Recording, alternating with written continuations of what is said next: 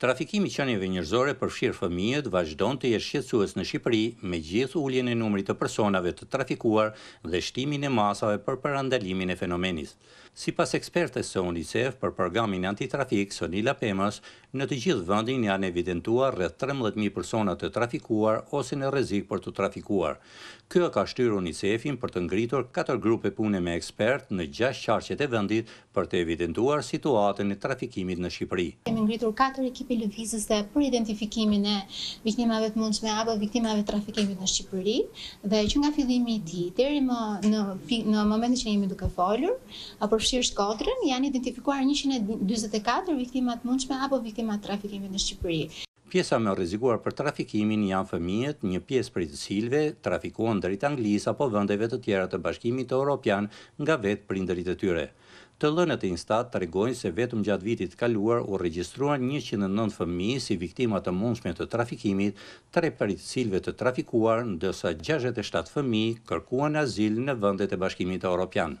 Këto persona, thotë ekspertja e UNICEF-it për Programin Antitrafik, Sonila Pema, kalojnë një proces referimi në Mekanizmin Kombëtar të Referimit për të fituar ose jo statusin e viktimës së trafikimit, gjë që u mundëson atyre mbështetjen në procesin e riintegrimit. Janë rreth treqind persona të cilët kanë marrë një mbështetje të drejtpërdrejtë, viktima të mundshme apo viktima të trafikimit që janë mbështetur dhe pa harruar pra dhe fëmijët e tyre, të cilët janë mbështetur me shërbime drejtpërdrejt për të kuptuar që në vend ka organizata, ka dhe institucione shtetërore që mbështesin dhe japin shërbime për riintegrimin e tyre. Shkodra është një nga gjashtë qarqet e Shqipërisë ku UNICEF po punon për evidentimin e viktimave të trafikimit.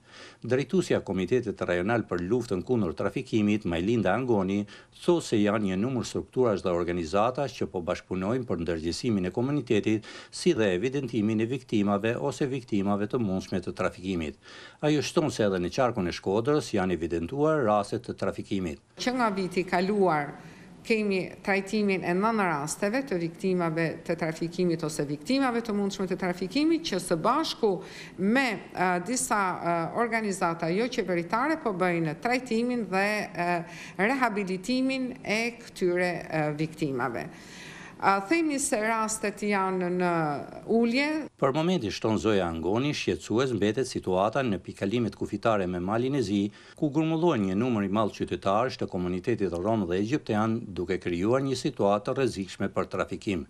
Drejtuesja e Komitetit Rajonal për Luftën Kundër Trafikimit thotë se janë evidentuar edhe kategoritë e personave të trafikuar ose në rrezik për trafikim. Vijnë nga familje me probleme të theksuara jo vetëm ekonomike, vijnë nga martesa të hershme, vijnë nga kushte sociale jo të mira, pra që janë gjithmonë në risk rrezikut për këtë fenomen. Sipas ekspertëve të UNICEF, vazhdon të jetë shqetësues numri i ulët i trafikantëve të arrestuar dhe dënuar nga drejtësia shqiptare.